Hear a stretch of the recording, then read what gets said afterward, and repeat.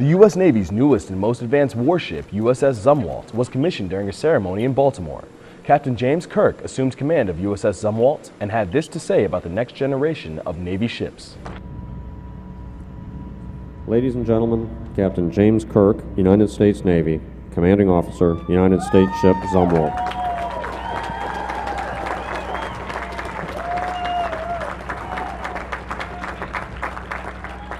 Well, I, I know what you're all thinking, so let's just get it over with. Live long and prosper.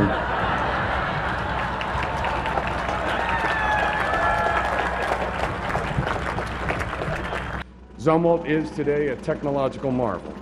When deployed, our Navy and nation will have on its Navy and Marine Corps team a multi-mission destroyer with the stealth, survivability, and combat power to take on our most challenging missions. And DDG 1000 shines a brilliant light upon the path to what the future demands.